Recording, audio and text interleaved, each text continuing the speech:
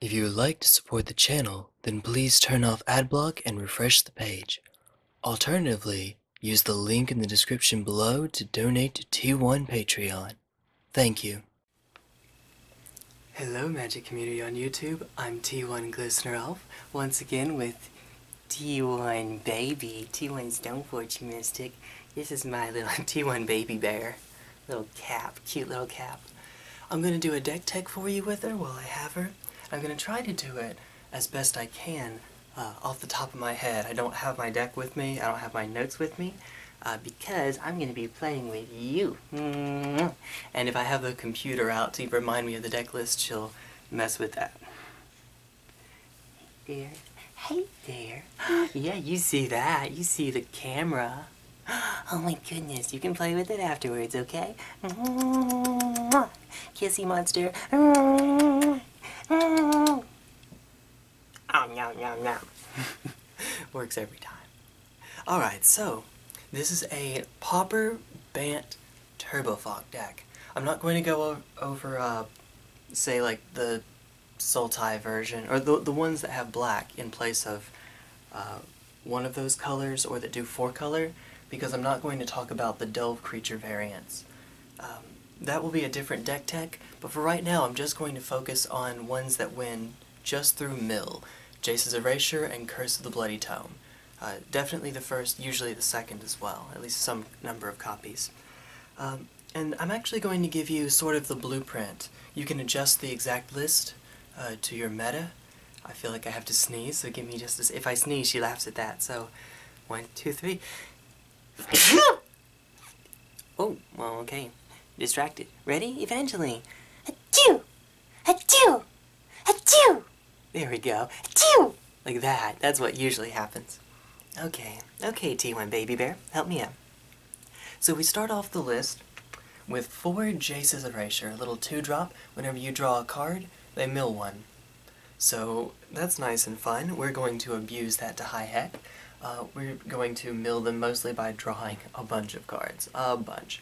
It's cheaper than Curse of the Bloody Tome, and sometimes it can actually just mill them more quickly anyway.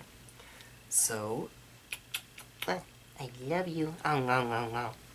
Uh, we care about using this more than Curse generally, but I also run four Curse of the Bloody... just a little baby bear at the bottom. I also run four Curse of the Bloody Tome. Uh, that gives me eight win condition cards in the deck. Um, just more expensive, but it's a consistent mill card. And that's that's it for that.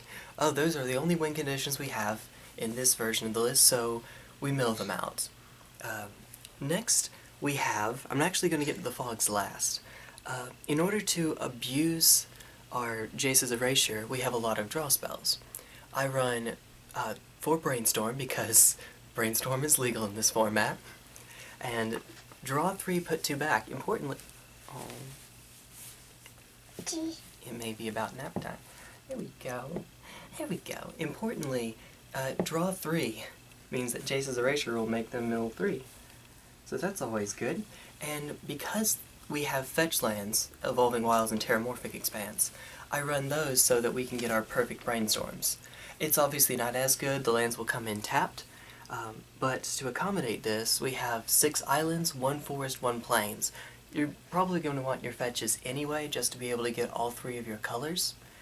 And this gives us an, the ability to do that really readily, right? Really readily, right?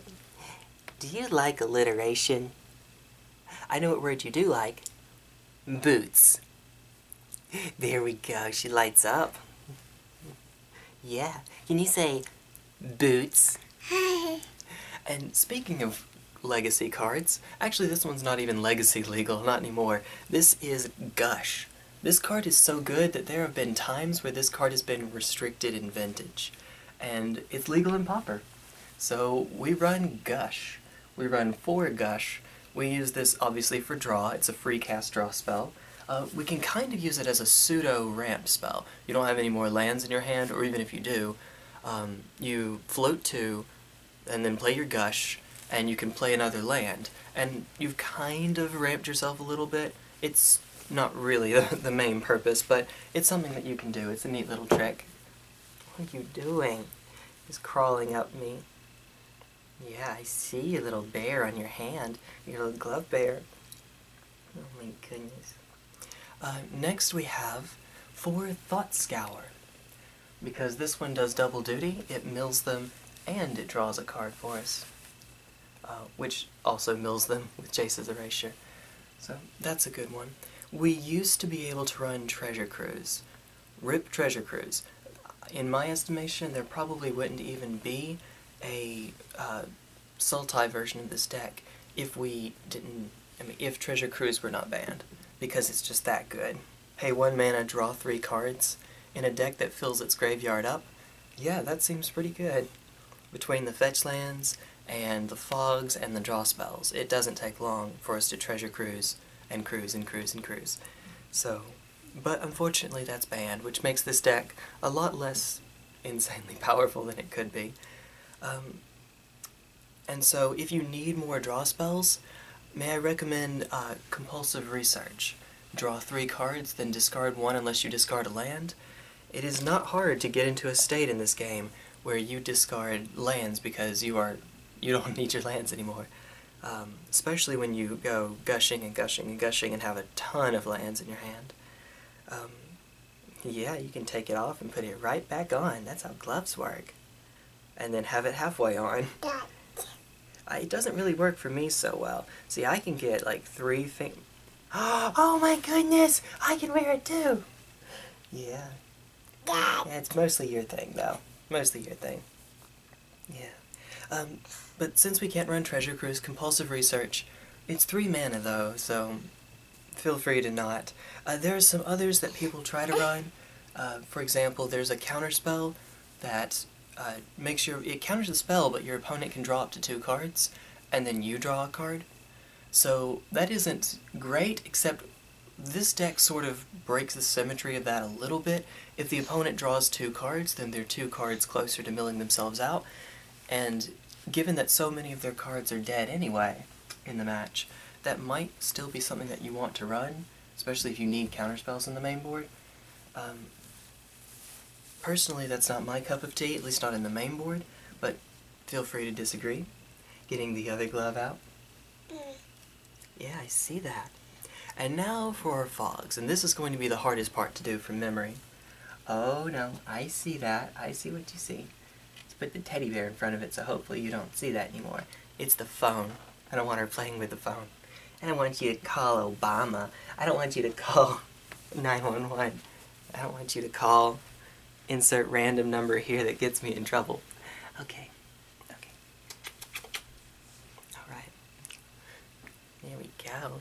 We're not done yet. We're not done yet. So I'm going to divide these fogs into a number of different categories. Um, first, there are the two that I consider the must-haves. You must run these.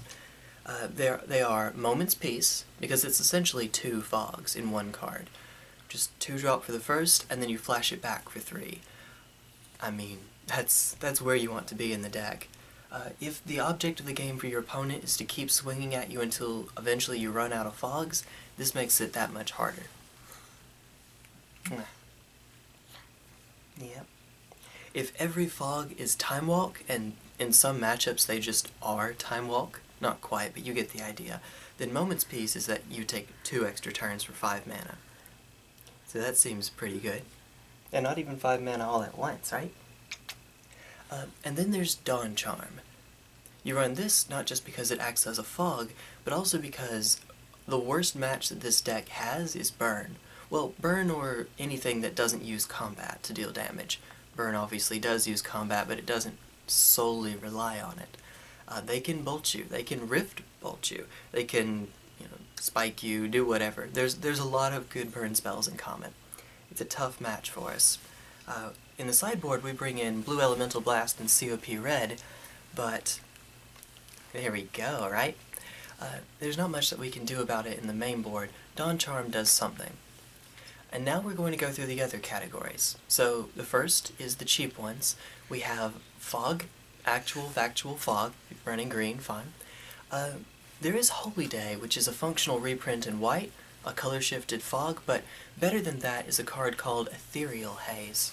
Ethereal Haze prevents all damage that creatures would deal, not just combat damage. So you can do this in response to a prodigal sorcerer pinging you. I, I don't know.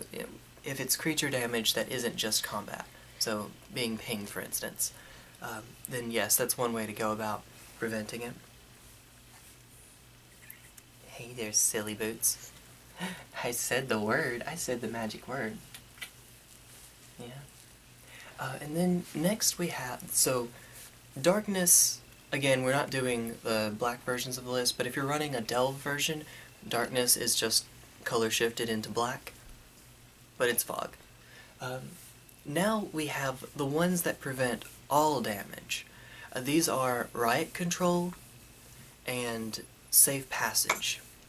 Uh, riot Control gains you life, uh, but it doesn't protect your creatures, it only protects you, but it protects you from all damage. That includes burn spells, for instance. Yeah, you're done. Dun dun dun. You had that quickly. Well, you had a lot of it before we got on camera, though, so that'll do it. Hey, can you join me, please? Stay with me for just a moment, okay? I need you to make the cuteness factor higher. Okay. Don't make me tickle you. Tickle, tickle, tickle, tickle. Can you say SpaghettiOs? No. That's another word you like. Can you say cookie?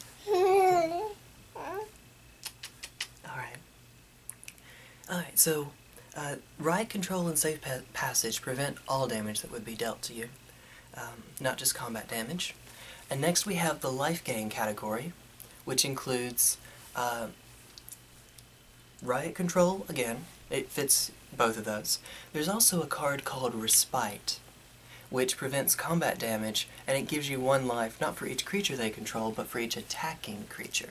Now the reason that life gain ones are important is again because of the burn match. See, the burn match will try to get use, the, use their creatures to get you as close to lethal as possible, and then they use their burn spells to finish you off. In other words, they get you into a certain threat range. Oh, I got you. And they either force you to start using your fog spells earlier than you would want to because you don't want to die to the burn spells, and if they force you to do it early, then you might run out of fog spells early. Or you use them right on time, but then you can die to bolts. If you have fogs that give you life back, then they help to get you out of that threat range. And so Riot Control and Respite are good for that, absolutely. Um, the burn decks aren't going to stop attacking you. They might in certain variants like the Heroics deck or a Battle Rage or a Salt Strobe deck. They might eventually get to the point where they only attack with one creature and you gain one life. That's fine. That's fine if they're smart about it. It's like a, when a Splinter Twin player would get wise about it, and instead of hitting you with a million creatures, they'd play around cards like Rakdos Charm and hit you with enough creatures to be lethal. Or enough plus one or something like that. There's nothing else in there. Not anymore. Um, and then we have a few miscellaneous ones. If you're playing using online rules, Tangle is also a good one. Tangle has not been printed as a common, but it is a common online. I want to say it was Vintage Masters. Forgive me if that's wrong, but I think it's Vintage Masters uh, that makes it legal. It taps down, or it prevents the attacking creatures from untapping during the next untap step. And so, lo and behold, that kind of can act as two fogs. Again, you could get into a situation where the opponent wises up and plays around it by only attacking with enough creatures and leaving enough back that when you tangle, you, they still have lethal next turn. That's possible. Um, but if they don't, you'll you'll get people once. You may not get them more than once with Tangle, but you'll get them once. So it's a little overrated, but even if you get into a situation where, like for example, um, they have to swing with all of their creatures for it to be lethal. This is usually the case when it's the first spell that you're using, uh, the first fog spell. Um, then yes, you can just double time walk them with that. That is certainly true. You want to get up a little bit higher so we can see you? A little bit higher? There we go. Let me give you a little seed. Oh, it's getting close to nap time. Kissy monster! Alright. Uh, and then there's another category. Um, I, I don't think I'm finished with miscellaneous just yet, but I'll get back to that. Uh, this other category is fog spells that work against non-creature decks. So what I mean is that, well, Esper Familiars isn't really a deck anymore, but sometimes you'll come across decks that just don't use combat at all. Say, the Fog Mirror, or uh, I have a friend of mine that runs a deck called One Land Spy. I believe it's called One Land Spy. It kills you with Haunting Misery in the main board, and it has a combo in the sideboard that uses Gray Merchant of Asphodel, Gary. So in those decks, in those matches, your fogs do jack all. Um, I actually don't remember if Haunting Misery is life loss or damage. Though I think the former. Um, and so in those matches, if you're just, if all it does is prevent combat damage, then it doesn't do you all that much. But cards like Dawn Charm have utility outside of that, because you can use it to prevent a spell from targeting you, like Corrupt or Haunting Misery. yeah. Um, fun fact, Thought Scour targets. It's target a player and then they draw a card. You can counter it with a Dawn Charm. Uh, because once all targets are made illegal, assuming they targeted you, which they're likely to, they don't have to though. If they're trying to fill their graveyard for Delve, or look for that Moments Peace, they might target themselves. Yeah. Yeah, I see you over there. Do you see yourself? Do you see yourself in the camera? Oh, you see yourself in the mirror? There we go. There you are. Alright. Can you say boots? Yeah. Can you say poop? the weirdest words are the funniest ones to her. Um, next we also have Angel Song and Lull. They're the same card, but one is green, one is white. I got them backwards. Uh, Angel Song is the white one, Lull is the green one. They cycle to draw you a card. So if you find yourself in a match where you don't need the fogs to fog, you can cycle them instead to just find a win condition more readily.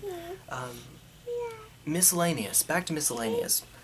There's also Muddle the Mixture. It's not a true fog, but it finds you a lot of fogs. It finds you the aforementioned Dawn Charm, Tangle, Moments Peace, Angel Song, Lull. Um, it counters a spell if you need it to. It counters instants or sorcery, so it does something in the burn match. yeah. I see you see yourself in the mirror. Or you're seeing me in the mirror. Hey there. This is the sound of one hand clapping. She's so precious. She's so precious to me. Yeah.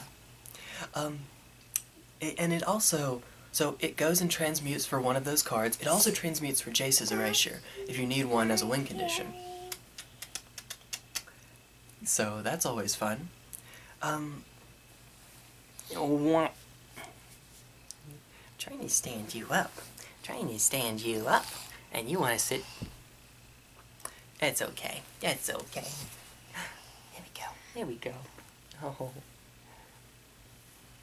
Love, love. Can you tell it's close to nap time? We're almost done.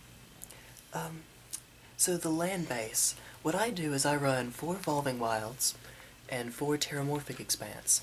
We run six islands, a forest, and a plains. Usually, of course, you need islands, but if you have a hand that doesn't have a green or white source to start fogging, you can go and get the forest or the plains. Um, we're at 16 lands now. We also have four Blossoming Sands, I believe it's called. It's the Khans of Tarkir, Common, Gain One Life, and it's the Selesnya. Yeah, so it, excuse me, gets you green or white. The life gain might be really consequential. It might help. Let me scratch your back. Um, but that gives us 20 lands. Usually that's enough. That gives us six islands that we can gush, with which we can gush. Um, but because we have our fetch lands, that's effectively up to 14 it seems. Um, so that's always good. So the way that I run the list, it's 20 lands, 8 win conditions, 4 Jace's Erasure, 4 Curse of the Bloody Tome. I run 12 draw spells, I run 4 Thought Scour, 4 Brainstorm, 4 Gush, and then the other 20 I have as some mixture of the aforementioned fog spells. I don't run Muddle the Mixture, but feel free to do so. I would run it in the sideboard. Um, I think that I actually will. in the future. Uh, unfortunately, because of Sword of the Meek being unbanned and Muddle the Mixture's ability to get both Sword of the Meek and Thopter Foundry, it is a much more expensive card than it used to be.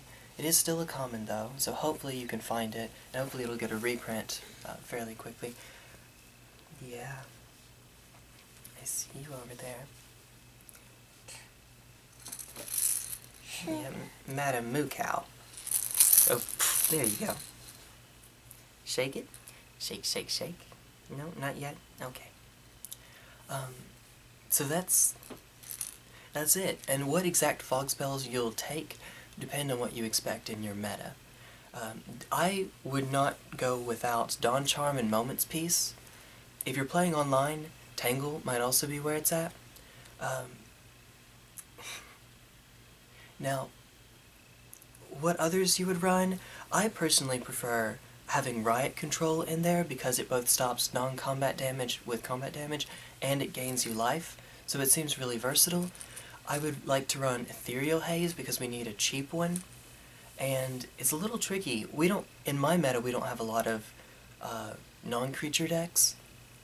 So I don't feel like I have to run Angel Song or Lull. Uh, so I would run probably just basic Fog as well. I want to have enough cheap ones that I can start fogging early.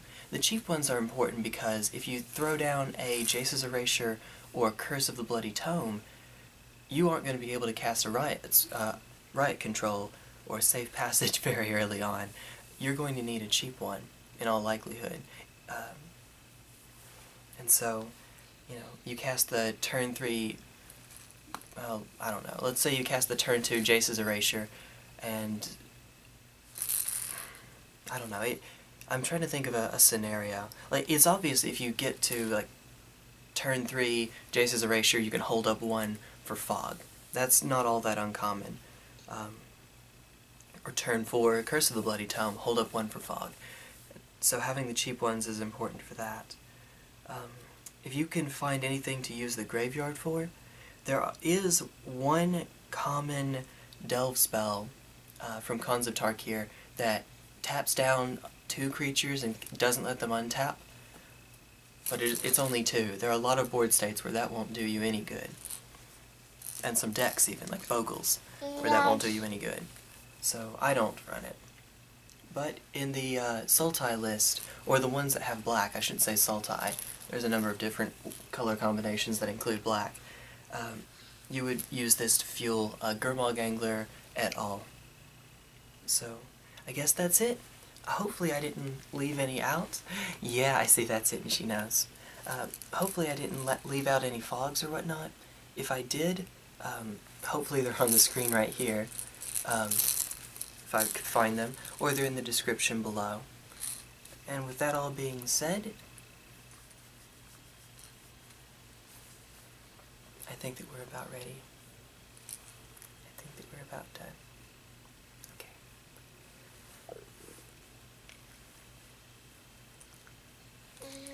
Say bye-bye. That's not quite bye-bye, but that works. Bye. Alright, one more time. Boots. SpaghettiOs. Bye.